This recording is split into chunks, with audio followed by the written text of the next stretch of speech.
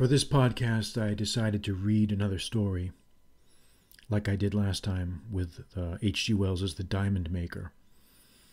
Wanted to read another story because sometimes it's good for a change of pace. It's good for a chance to mix things up, to change things, to do things a little, little bit differently, and not to do the same old type of podcast over and over again. Sometimes it's fun just to explore fiction. It's just fun to hear a good story. And this story that I'm going to read now is an old favorite. It's called The Flowering of the Strange Orchid by H.G. Wells. And this story was first published in 1905 in Pearson's Magazine in England. And it's a very, very, uh, very interesting tale of, of weirdness, a tale of unease. And I'll let you decide what you think about it once you've heard it. But it's a short story, it's not very long. And I will start reading it now. The Flowering of the Strange Orchid by H.G. Wells. The buying of orchids always has in it a certain speculative flavor. You have before you the brown shriveled lump of tissue, and for the rest you must trust your judgment, or the auctioneer, or your good luck, as your taste may incline. The plant may be moribund or dead, or it may be just a respectable purchase, fair value for your money, or perhaps for the thing has happened again and again. There slowly unfolds before the delighted eyes of the happy purchaser, day after day, some new variety, some novel richness, a strange twist of the labellum, or some subtler coloration or unexpected mimicry. Pride, beauty, and profit blossom together on one delicate green spike, and, it may be, even immortality. For the new miracle of nature may stand in need of a new specific name. And what so convenient as that of its discoverer? John Smithia. There have been worse names. It was perhaps the hope of some such happy discovery that made Winter Wedderburn such a frequent attendant at these sales. That hope, and also, maybe, the fact that he had nothing else of the slightest interest to do in the world. He was a shy, lonely, rather ineffectual man, provided with just enough income to keep off the spur of necessity, and not enough nervous energy to make him seek any exacting employments. He might have collected stamps or coins, or translated Horace, or bound books, or invented new species of diatoms. But as it happened, he grew orchids and had one ambitious little hothouse. I have a fancy, he said over his coffee, that something is going to happen to me today. He spoke as he moved and thought, slowly. Oh, don't say that, said his housekeeper, who was also his remote cousin. For something happening was a euphemism that meant only one thing to her. You misunderstand me. I mean nothing unpleasant, though what I do mean I scarcely know. Today, he continued after a pause, Peters are going to sell a batch of plants from the Andamans and the Indies. I shall go up and see what they have. It may be that I shall buy something good unawares. That may be it. He passed his cup for a second cupful of coffee. Are these the th- are these the things collected by that poor young fellow you told me of the other day?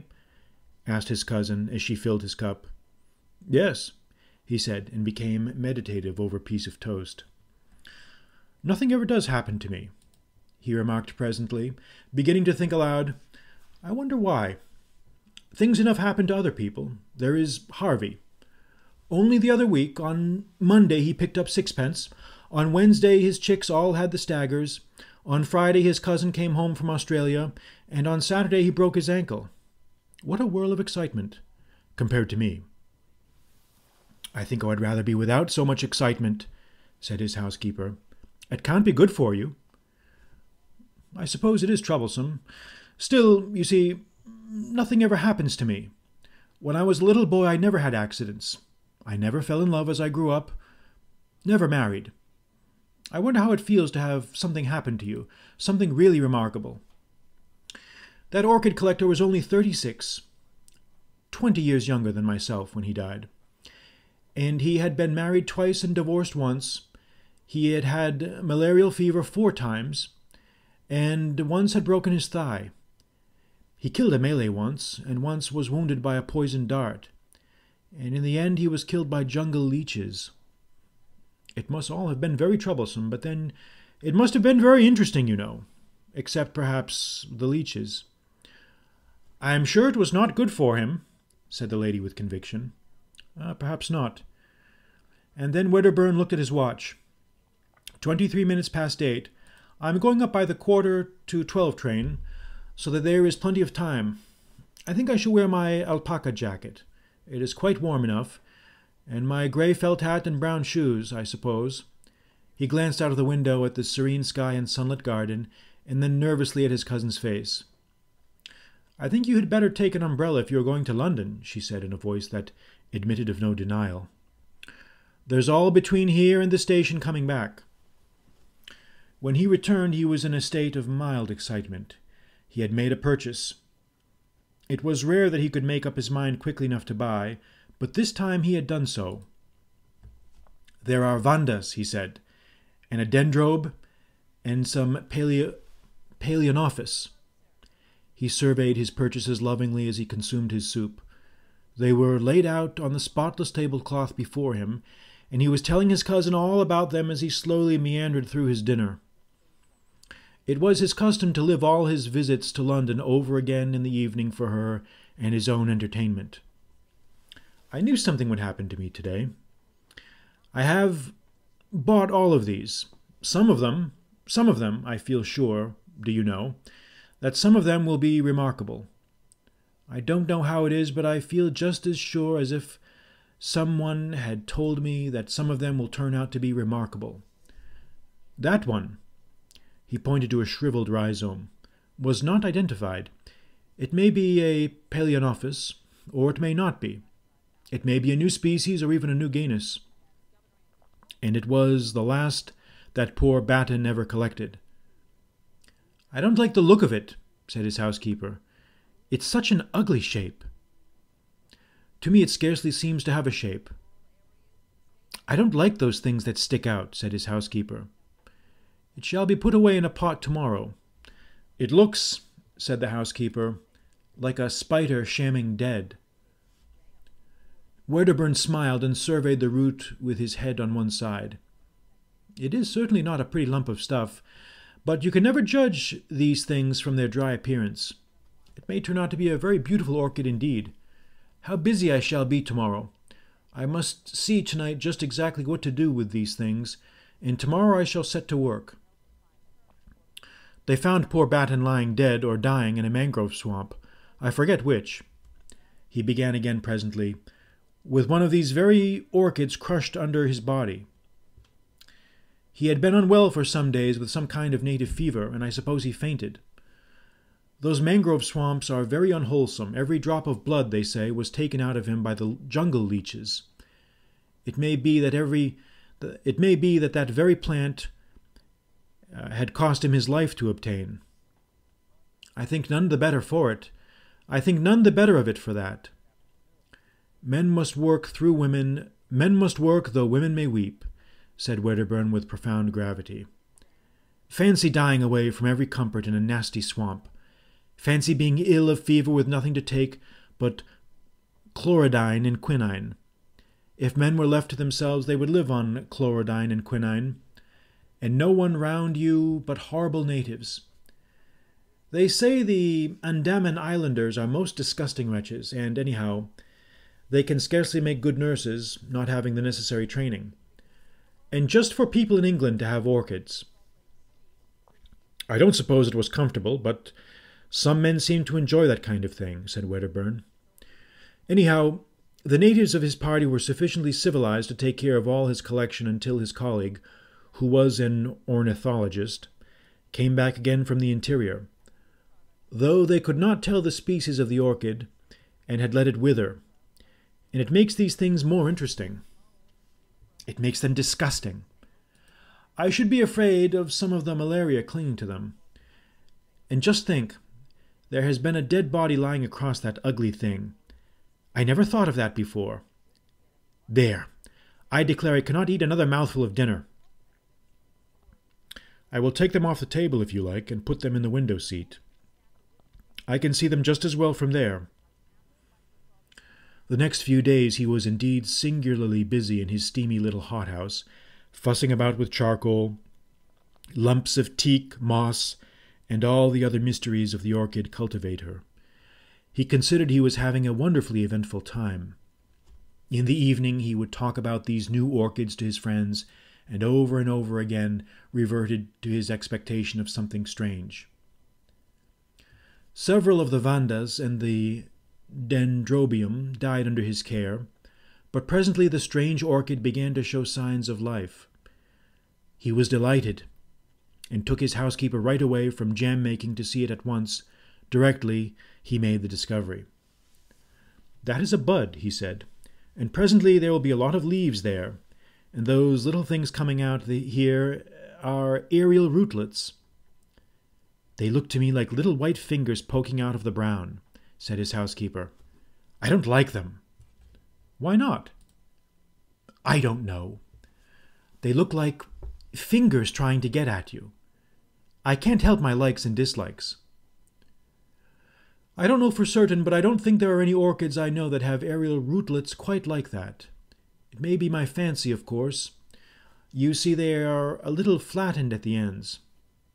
I don't like 'em, said his housekeeper, suddenly shivering and turning away. I know it's very silly of me, and I'm very sorry, particularly as you like the thing so much.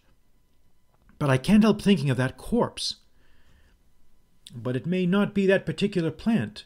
That was merely a guess of mine. His housekeeper strug- shrugged her shoulders. Anyhow, I don't like it, she said. Wedderburn felt a little hurt at her dislike to the plant, but that did not prevent his talking to her about orchids generally, and this orchid in particular, whenever he felt inclined. There are such queer things about orchids, he said one day, such possibilities of surprises. You know, Darwin studied their fertilization and showed that the whole structure of an ordinary orchid flower was contrived in order that moths might carry the pollen from plant to plant. Well, it seems that there are lots of orchids known, the flower of which cannot possibly be used for fertilization in that way. Some of the Cypripediums, for, for instance, there are no insects known that can possibly fertilize them, and some of them have never been found with seed. But how do they form new plants? By runners and tubers, and that kind of outgrowth. That is easily, easily explained. The puzzle is what are the flowers for? Very likely, he add, added, my orchid may be something extraordinary in that way. If so, I shall study it. I have often thought of making researches as Darwin did. But hitherto I have not found the time, or something else has happened to prevent it. The leaves are beginning to unfold now. I do wish you would come and see them. But she said that the orchid house was so hot it gave her a headache. She had seen the plant once again, and the aerial rootlets, which are now some of them more than a foot long, had unfortunately reminded her of tentacles reaching out after something, and they got into her dreams, growing after her with incredible rapidity.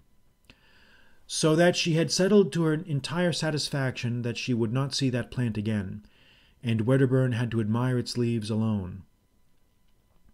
They were of the ordinary broad form, and a deep glossy green, with splashes and dots of deep red towards the base. He knew of no other leaves quite like them. The plant was placed on a low bench near the thermometer, and close by was a, a simple arrangement by which a tap dripped on the hot water pipes and kept the air steamy. And he spent his afternoons now with some regularity meditating on the approaching flowering of this strange plant. And at last, the great thing happened. Directly he entered the little glass house, he knew that the spike had burst out, though although his great Palaeonophis loei hid the corner where his new darling stood. There was a new odor in the air, a rich, intensely sweet scent, that overpowered every other in that crowded, steaming little, hot, steaming little greenhouse. Directly he noticed this, he hurried down to the strange orchid. And behold, the trailing green spikes bore now three great splashes of blossom, from which this overpowering sweetness proceeded. He stopped before them in an ecstasy of admiration. The flowers were white with streaks of golden orange upon the petals. The heavy labellum was coiled into an intricate projection, and a wonderful bluish purple mingled there with the gold. He could see at once that the genus was altogether a new one, and the insufferable scent. How hot the place was! The blossoms swam before his eyes. He would see if the temperature was right. He made a step towards the thermometer. And then, suddenly, everything appeared unsteady. The bricks on the floor were dancing up and down. Then the white blossoms, the green leaves behind them, the whole greenhouse, seemed to sweep sideways and then in a curve upward. At half past four, his cousin made the tea, according to their invariable custom. But Wedderburn did not come in for his tea. He is worshipping that horrid orchid, she told herself, and waited ten minutes. His watch must have stopped. I will go and call him. She went straight to the hothouse and, opening the door, called his name. There was no reply. She noticed that the air was very close and loaded with an intense perfume. Then she saw something lying on the bricks between the water pipes. For a minute, perhaps, she stood motionless. He was lying face upward at the foot of the strange orchid. The tentacle like aerial rootlets no longer swayed freely in the air, but were crowded together, a tangle of grey ropes, and stretched tight with their ends closely applied to his chin and neck and hands. She did not understand. Then she saw from under one of the exultant tentacles upon his cheek there trickled a little thread of blood. With an inarticulate cry, she ran towards him and tried to pull him away from the leech like suckers. She snapped two of these tentacles, and their sap dripped red. Then the overpowering scent of the blossom began to make her head reel. How they clung to him! She tore at the tough ropes, and he and the white inflorescence sw- swam about her. She felt she was fainting, knew she must not. She left him and hastily opened the nearest door, and, after she had panted for a moment in the fresh air, she had a brilliant inspiration. She caught up a flower pot and smashed in the windows at the end of the greenhouse. Then she re entered. She tugged now with renewed strength at Wedderburn's motionless body and brought the strange orchid crashing to the floor. It still clung with the grimmest tenacity to its victim. In a frenzy, she lugged it and him into the open air. Then she thought of tearing through the sucker rootlets one by one, and in another minute she had released him and was dragging him away from the horror. He was white and bleeding from a dozen circular patches. The odd job man was coming up the garden, amazed at the smashing of glass, and saw her emerge, hauling the inanimate body with red stained hands. For a moment he thought impossible things. Bring some water, she cried, and her voice dispelled his fancies.